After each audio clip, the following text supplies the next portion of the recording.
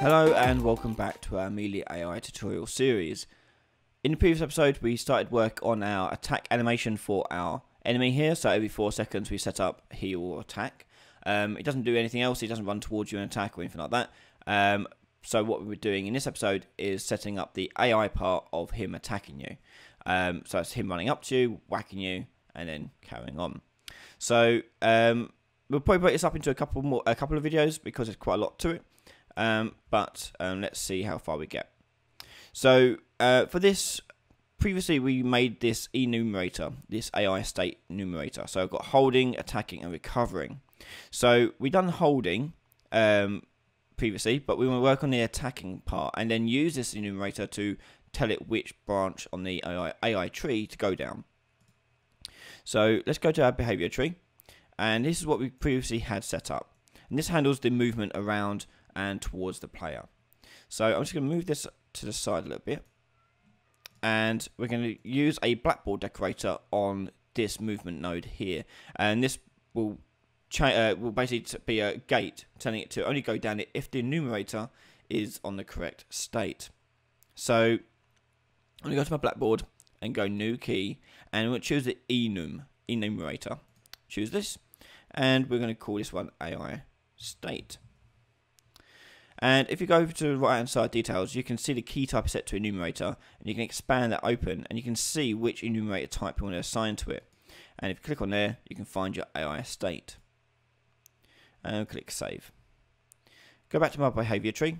I can go to movement here, and right click, and do add decorator, and do a blackboard check.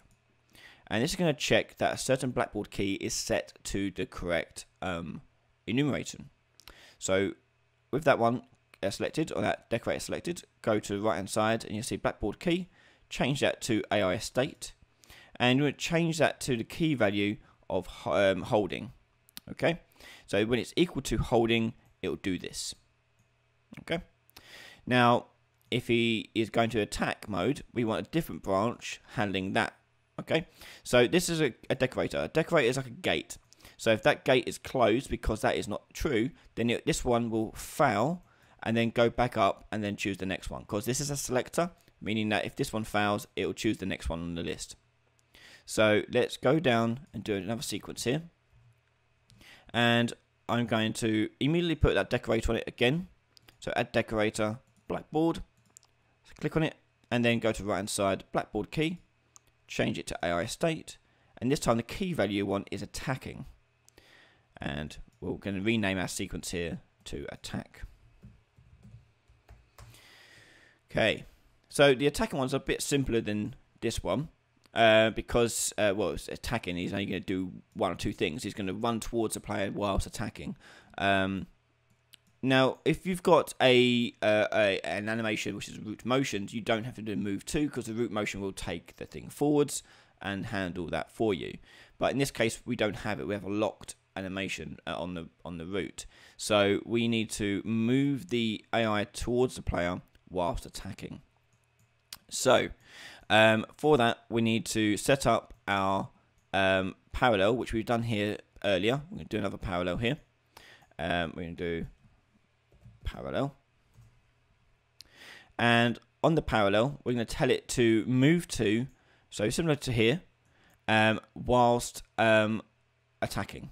Okay, and now this one will run in the background whilst this one is active. So it's up to you which way around you do this. Um, I think what might be best is we do the attack on the main task here and the move to here. So that means he only attacks once and move to will carry on going whilst he is um, uh, whilst he's attacking. So let's have a look what we're going to do here. So we need to copy a lot of this we've got here. So we've got find player location, which we want. Um, we're going to take that, take the walk speed task and focus target. We're going to take all this, take the move to, we'll take all that as well, and we'll copy that over and paste that down here. So the first part of the task, uh, the attack sequence, is going to find a player is going to change his walk speed, which we can customize. So if we want him to move faster towards a player, we can do. So if I change the walk speed here to say 800, it'll move faster towards the player. Focus target, we'll make sure it's just focusing still on the on its target. And the move to is going to go to our parallel here, but this time it's going to go into the secondary one, which is this grey one here. So he'll carry on moving towards the player whilst uh, uh, uh, this is doing its thing, which is going to be the attack task. So let's do an attack task here. So new task, BT task blueprint base. And I'm going to immediately go in, change the name of this one so it makes a bit more sense. So we're going to attack target. Back into that task, we'll go in and we'll do our execute, receive execute AI, which starts off the task. And from there, we can then do uh, what we kind of did with the AI controller. Uh, we're going to tell the controller to attack the pawn, attack the target. Um, you can go straight to the pawn if you like, but I prefer to go the the method of uh, if we say that the controller is the input and the mesh is the output, it makes it a lot easier to keep in your head that way. Um, so I'm just going to disconnect my timer that I set up on my AI controller that we did last time. So I'm going to take that aside there. And we'll leave it as pawn attack. So I'm going to go into my enemy, be, uh, no, uh, my attack target task. Here it is. And we're looking at owner controller here. And we're going to cast to our enemy AI controller. From there, uh, we're going to take the as enemy AI and take it to attack, uh, pawn attack. And then from there, we're going to do a finish execute. A success. Okay. And hit compile. So this task handles just simply, all it's going to do is get hold of the controller, tell it to call that function on the controller, which is the pawn attack, and then to tell that the task was successful. So that's calling this which is then calling the the the mesh's attack uh, code.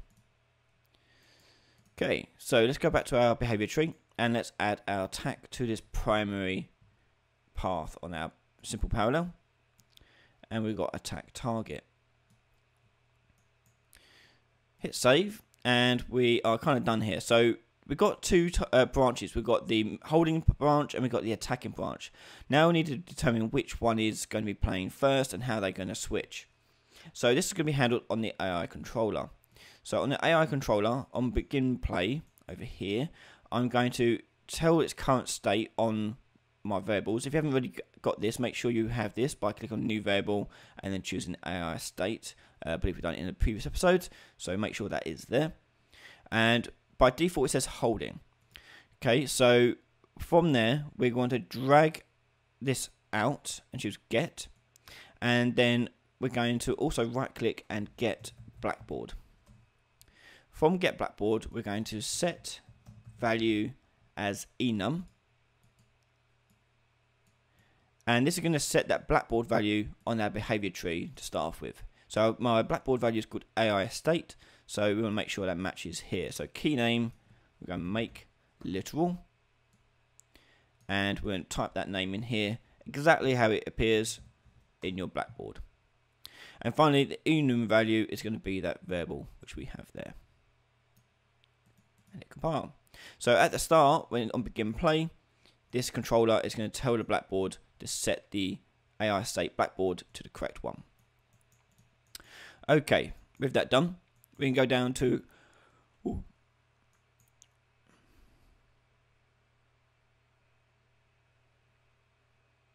Okay, with that done, uh, what we're going to do is we're going to tell this to, uh, we'll actually do that timer again. For, uh, say just for so testing purposes here. And we'll do another four seconds, looping. And this time we're going to do another custom event here, and we call it test and the test is going to simply just change our uh, current state to this and change this set value as enum here. So I'm going to copy this over like so and I'm going to change my current state here to set can actually delete that one there and hook up this pin here and change that to attacking. So every four seconds, it's going to change the state to attacking, which will trigger uh, the behavior tree to go down this branch instead. So the last thing we need to do is set to recover, which tells it to return back to our movement. So quite simply, I'm going to make a new task here. So BT task blueprint base, and I'm going to rename it straight away. And we're going to uh, reset, ooh, reset state. And in here, we're going to do execute AI. And from here, we're going to get the controller object again. And we're going to change, go uh, cast to. Actually, no, we don't. We don't need to do that. We can just go straight to the uh, the blackboard. So the blackboard here. Actually, we should change it. My bad. Let's change it. So cast to enemy AI, and let's change the state here. Set current state to holding, and then we're going to um, set blackboard value as enum. And the key we want to change is going to come from a blackboard key selector, which will be a variable over here. So I'm going to do bb underscore uh, state. And the type for this is a blackboard key selector. Make sure you tick the eyeball to make it public and editable. Plug that into key and the value is going to be that value there. And then things off with a finish execute. Tick, make sure you tick success. That's quite important. And then go back to behavior tree. And at the end of this, so after the parallel, we're going to do reset state. Make sure your BB state is set to the correct key, which is AI state. Okay, so that's going to reset the AI state in in the blackboard back to moving, uh, back to holding, which will allow it to do the movement branch instead of the attack branch. Then after four seconds, the AI controller will tick this on again and change the blackboard value again. So let's go and test this out. So after four seconds, he should play his attack animation. There you go. So we've got the attack animation. Now we want him to move towards the player a bit better because it's not really moving towards the player. So this may have something to do with my find player location task because I think we've done it as, oh no, that should be correct. Let's have a look back on our thing and let's have a look where we've gone wrong on that. So I've got move to uh, target location. Right, so here's what I've changed. The acceptable radius. Let's change this way down. So I'm going to change this to the default actually. So I can actually delete this and just put in move to and leave it as default. And we're going to to observe the blackboard value. So with the player moves, they move uh, along with the player. Uh, if you want the player to be able to dodge uh, a lot more easily, you can turn this off and makes it a bit easier to dodge. Um, we'll see how this works. We can tweak this as we need to. Okay, so we've got target location set, that's set, that's set, that's all good. Let's now test that out and see if the movement towards the player works a bit better.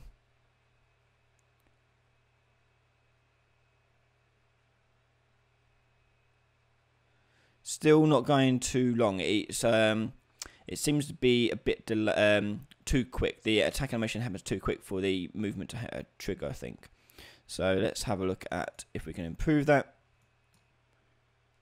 So what I'm going to do here, rather than doing a simple parallel, relying on this move to here, we're going to actually put a move to at the start here, before the parallel. And this move to, we're going to change the acceptable radius here to something like 50. And let's see how that works.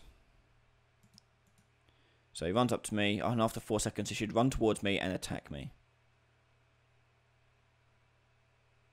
Cool.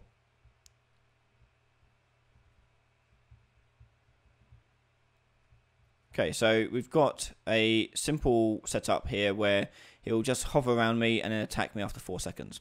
Now, the trick towards these systems is that um, when you've got multiple AIs, you have a, another sort of AI controller that's sort of controlling the whole horde of enemies and that thing is directing which one should be attacking next because you don't want all attacking at the same time. You want to sort of take turns. So In the next episode, that's what we're going to start working on. Start working towards our AI director to direct the action inside our game. Uh, after all, if everyone is attacking at the same time, the game's not fun, and it, well, it's not fun. No one will want to play it. So we want to make sure we are doing that turn-taking um, system. And what we can do eventually is adding in um, prioritization. So enemies that are uh, in better positions to attack the enemy, uh, attack the player, will get higher priority when getting decided upon which one should attack the player and when. So join us in the next episode where we'll start working towards our creation of our AI director. If you like this video and you want to see the rest of the, uh, if you want to see the next episode right now, you can head to patreon.com forward slash Ryan Laley, where a donation just $1 will get access to all those videos plus many more. If you like what I do and yet to subscribe to the channel, make sure you hit that subscribe button and uh, so you keep track of everything I'm doing each week. If you want to watch that next part right now, you can head to patreon.com forward slash Laley, where a donation just $1 will get access to all those videos plus many more. Thank you to all my patrons for the continued support. Um, it, the gratitude is not enough, so thank you, thank, thank you so much. If you uh, have any suggestions for future content or have any questions about this content, please leave a comment below and I'll try and get back to you as soon as I can. Um, otherwise, thank you all and I'll see you all next time. Bye bye.